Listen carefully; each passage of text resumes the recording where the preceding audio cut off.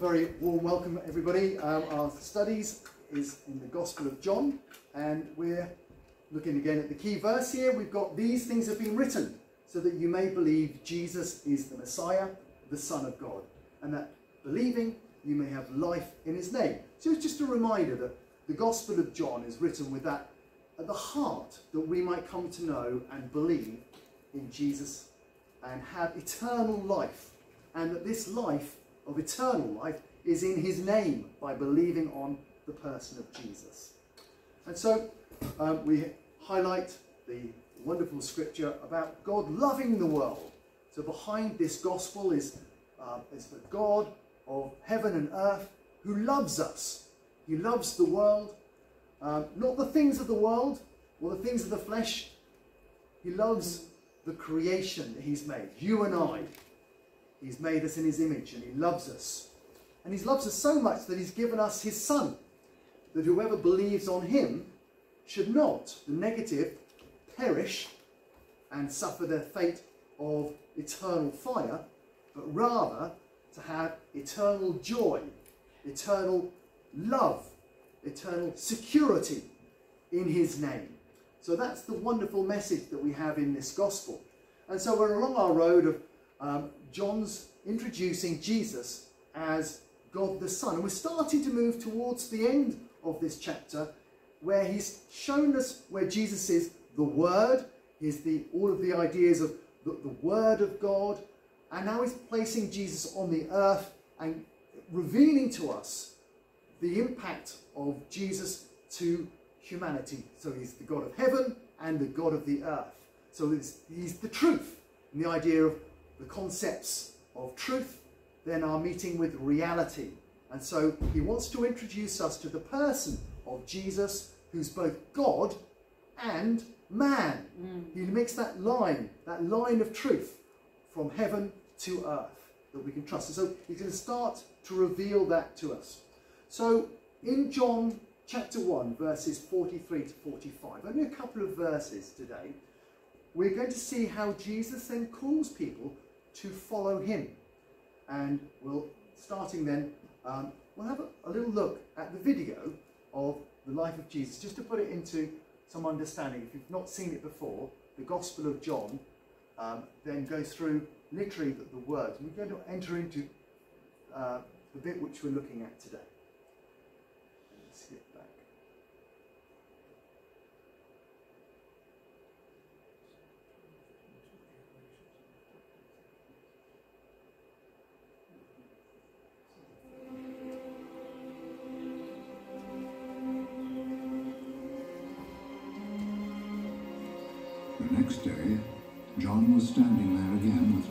Disciples when he saw Jesus walking by. There's the Lamb of God. The two disciples heard him say this and went with Jesus.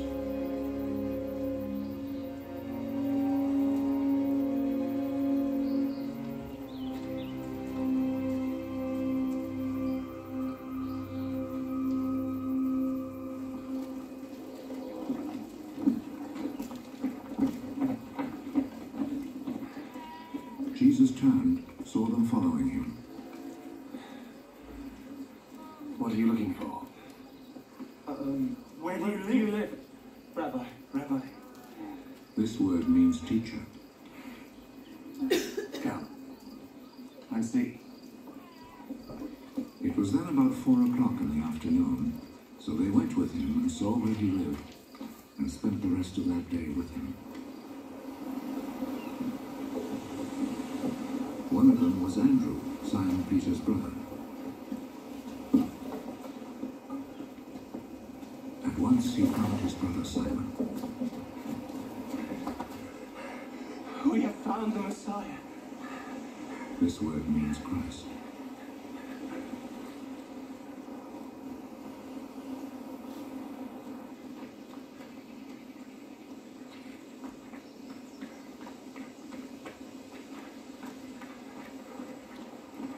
Took Simon to Jesus.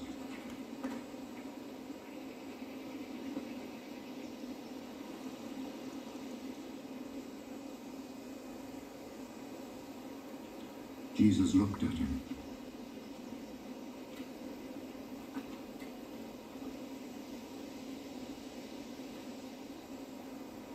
Your name is Simon, son of John. But you will be called Cephas.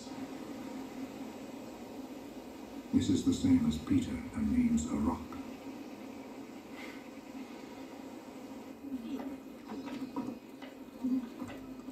The next day, Jesus decided to go to Galilee.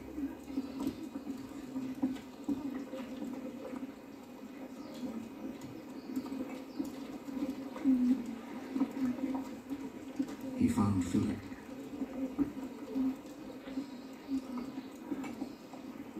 And said to him, Come with me. Philip was from Bethsaida, the town where Andrew and Peter lived.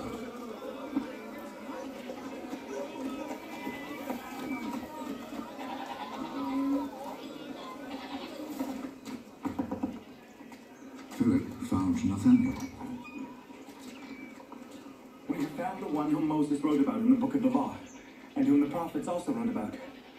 He is Jesus, son of Joseph from Nazareth. Can anything good come from Nazareth? Come and see. And we're going to pause there. So there we have that excitement of Jesus, the Son of God, being revealed. And John the Baptist cries out that he's the Lamb of God. Here we have the fulfillment of these scriptures that were written long before. And how exciting it was to live at a time when the very person himself, the creator of the universe, became flesh and walked amongst them. And to have that wonderful revelation that he was the Lamb of God.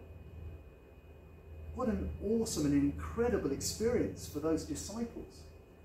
And so you can understand how they were running to and fro, saying, Come and see!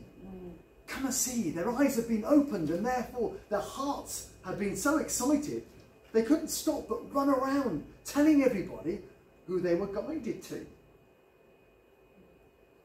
The scriptures say that the next day he purposed to go into Galilee. He purposed. So Jesus had a plan in his ministry. Once he had been anointed through the Holy Spirit after his baptism, he then stepped into the plan that the Lord, his Father, had for him. And immediately he then met Andrew um, and his brother. And then he says he goes to Galilee and he found Philip. Jesus said to him, so it was quite underplayed in the video, he says, Follow me. We're going to look at that a little bit later because that's very important within the Jewish Old Testament and the relationship um, in the understanding of sheep and people who followed the prophet, like Moses, followers. Now, Philip was from Bethsaida of the city of Andrew and Peter. So we're, we're looking at cities then. We've got Bethsaida, and then Philip found Nathanael. So we've got this word recurring. Jesus found Philip. Philip found Nathanael and said to him, We have found him of whom Moses in the law and also the prophets wrote, Jesus of Nazareth, the son of Joseph. So John's giving some a real indication here that found's quite important. He's repeated this several times. So with, with follow me and found, I want to explore that a little bit deeper today, have the opportunity to look at the idea of him finding Philip and then say, follow me. Now, there is something called the law of first occurrence.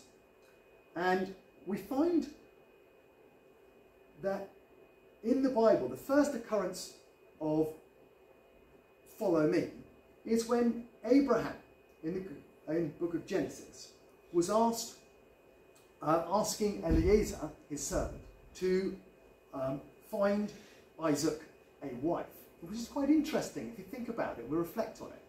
Abraham was old, advanced in age, and the Lord had blessed Abraham in every way. Abraham said to his servant, the oldest of his household, who had uh, charge of all that he owned, Please place your hand under my thigh, and I will make you swear by the Lord that the God of heaven and the God of earth, that you shall not take a wife for my son, from the daughters of the Canaanites among whom I live. But you will go to my country and to my relatives and take a wife for my son Isaac. The servant said to him, Suppose the woman is not willing to follow me. First occurrence of follow me. To this land. Should I take your son back to the land from where you came?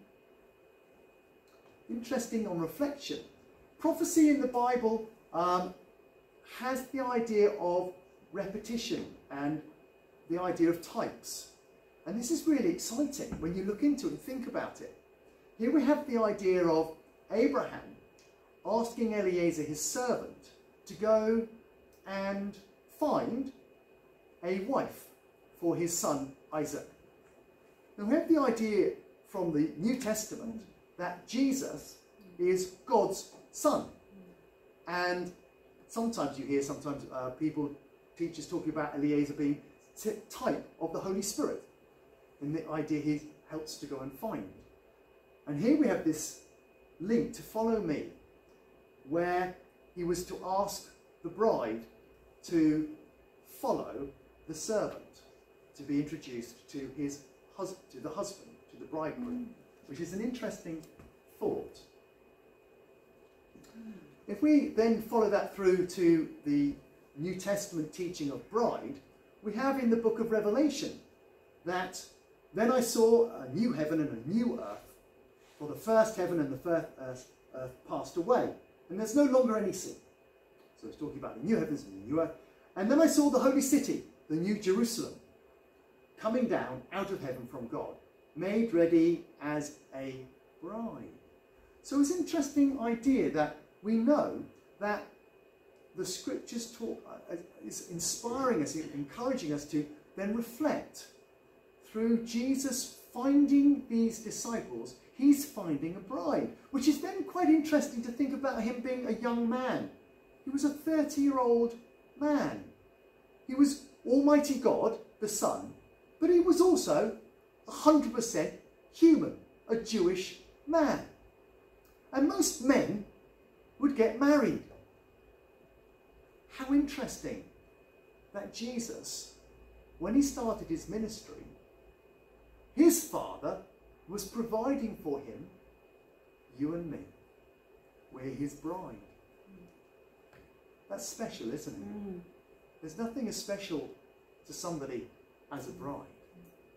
And there we have, all that long time ago, the Lord sending his son, preparing his bride. Our names are written in that city and he's sought us out.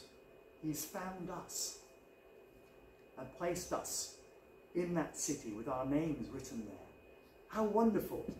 What a lovely reflection in the idea of him saying, Follow me, because as a good shepherd, he's guiding his sheep. And Peter says, For you have been called for this purpose, since Christ also suffered for you, leaving you an example to follow in his steps. And here we have the idea that he found Philip as an, an example of discipleship. Philip got the message. He understood who Jesus was. So excited. Mm. He then went and found Nathaniel. Mm. We likewise, once we receive the message and we understand our eyes of our heart are open to whom Jesus really is, we also, under the guidance of the Holy Spirit, are led to share with others who Jesus is and where to find him.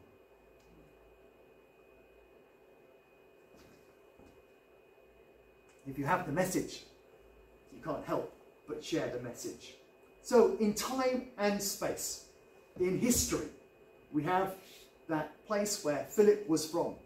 He was from a city called the House of, well, yeah, the House of Fish, Bethsaida. And there on the coast of the Sea of Galilee, he grew up with likes of Andrew and Peter at the synagogue. They would have known each other possibly.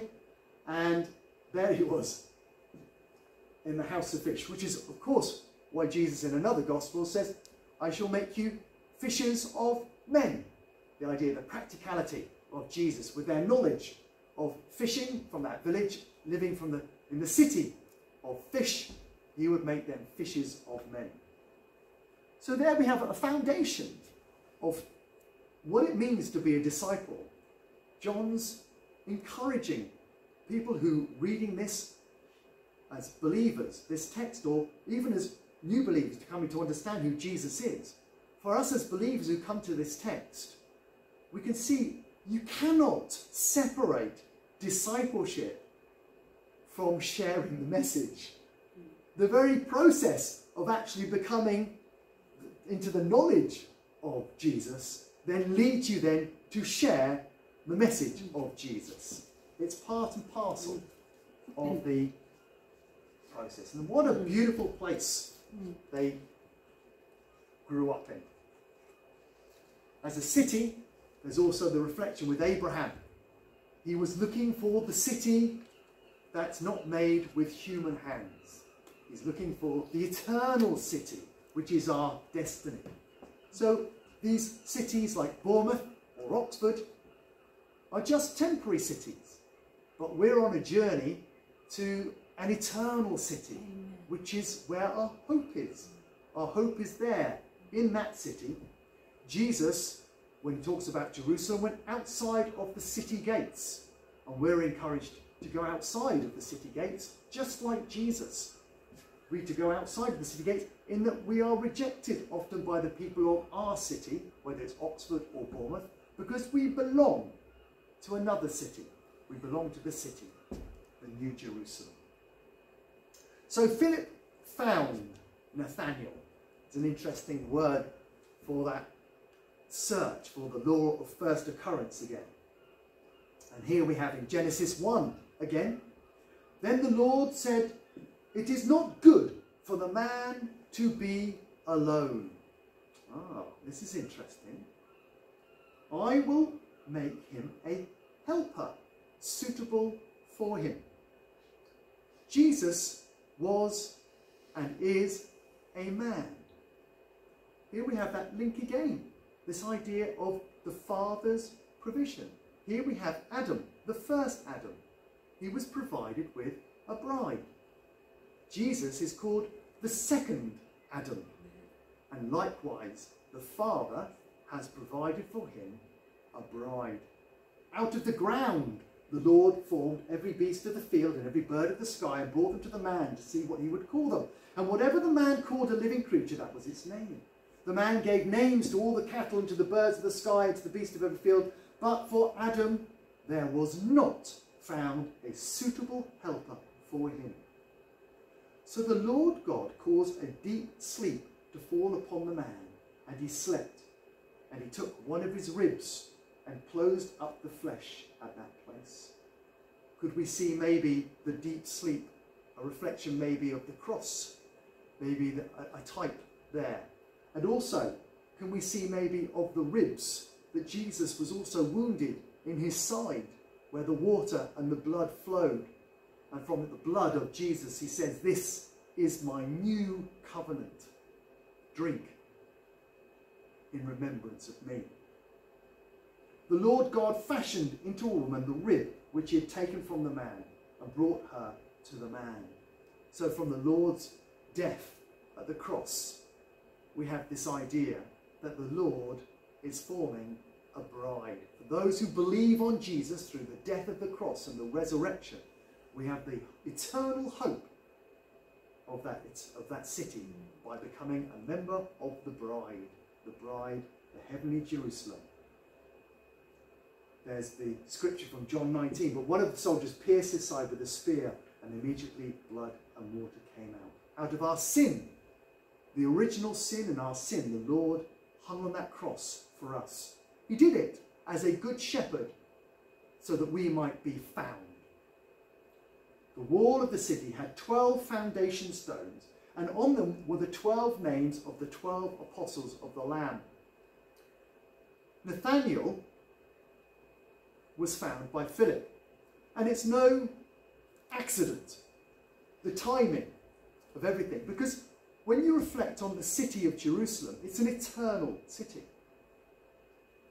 The foundation stones have the names of all the apostles on them.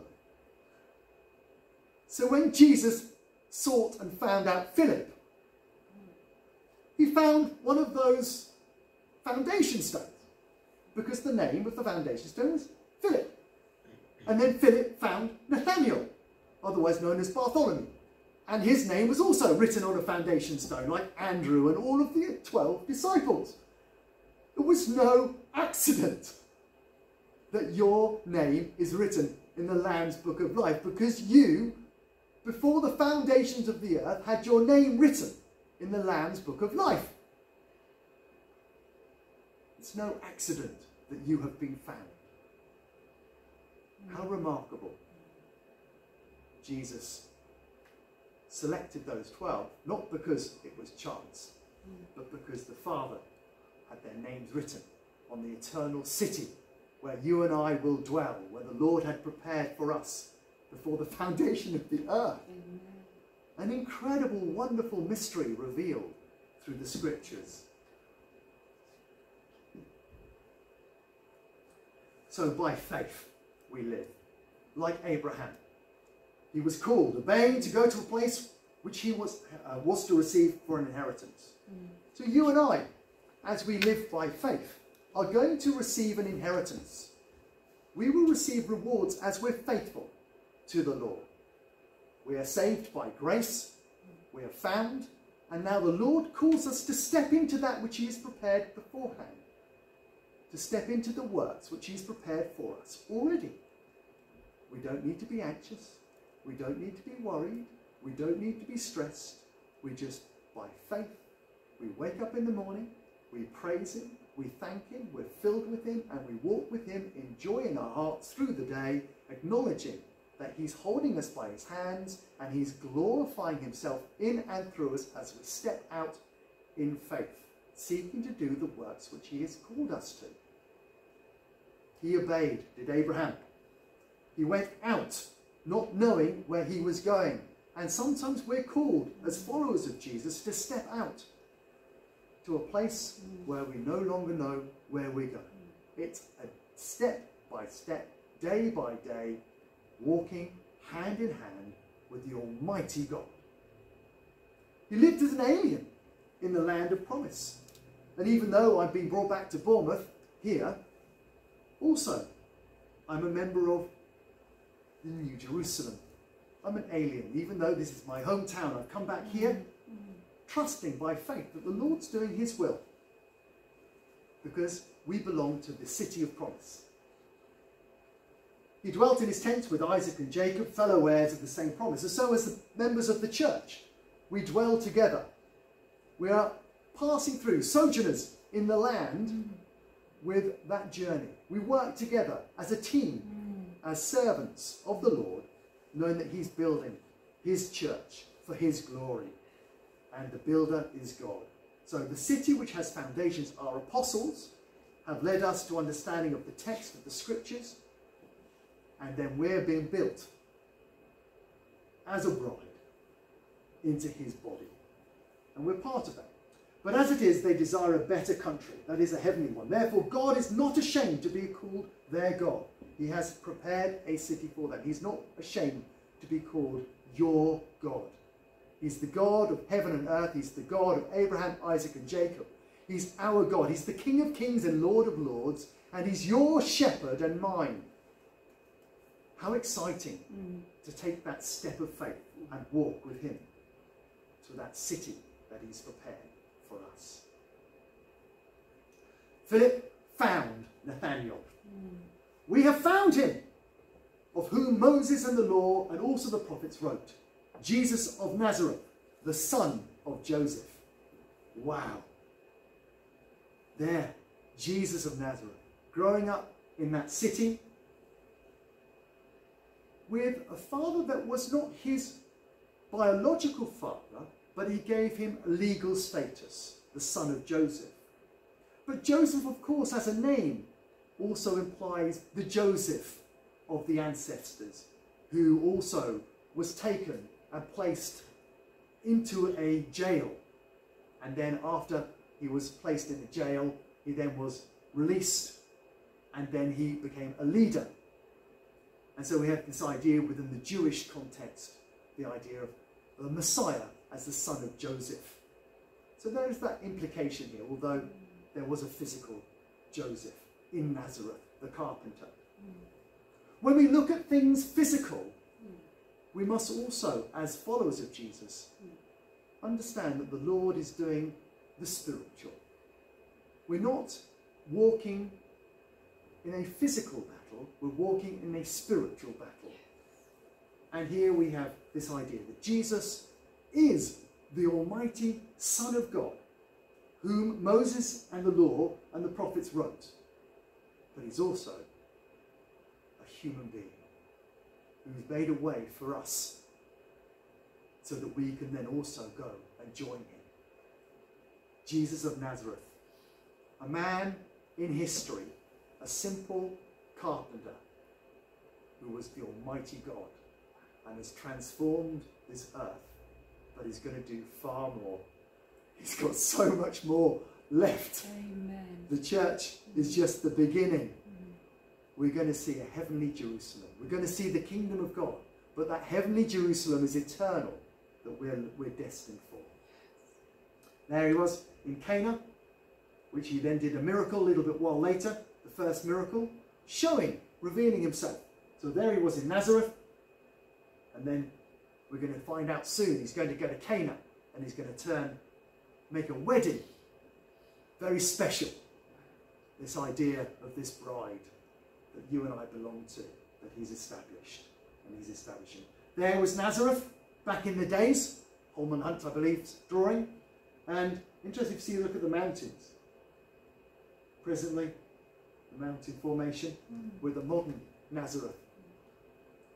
We're living in a day and age where the Lord is still the God of heaven and the God of earth.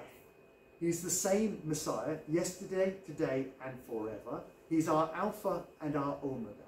We can trust him in the same way that Abraham trusted him, same way that Nathaniel and Philip and the others who met with Jesus. And we can go and tell others, follow Jesus, because he's coming again soon. And we're going to be ready. All of those scriptures we've got, prophecies fulfilled. And there's a whole load more prophecies about to be fulfilled around the corner. Are we ready?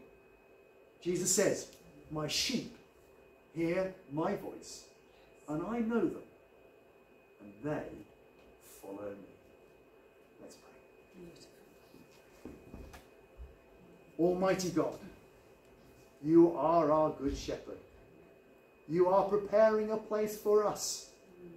And we thank you for this amazing grace that we were lost, but now we're found. We're blind, but now we see. Oh, Father, we praise your holy name. Thank you for that. We commit ourselves to you. Lord, by your grace, we want to follow you. Help us to be found faithful. Help us, Lord, to follow and trust you. We ask this in and through our precious Lord Jesus of Nazareth, the Son of Joseph, the Almighty God. In the name of the Lord Jesus, we pray. Amen. Amen. Amen.